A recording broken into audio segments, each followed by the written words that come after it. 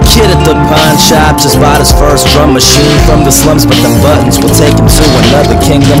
A woman humming in the kitchen in Brazil while 50 tenants listen by sticking their heads outside the windowsill.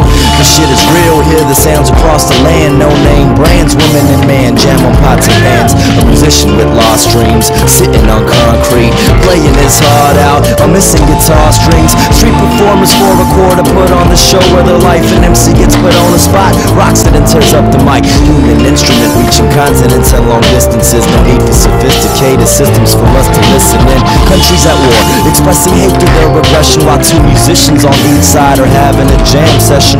Whether both of them know it or not, they all collaborating. You never know which way your music is navigating.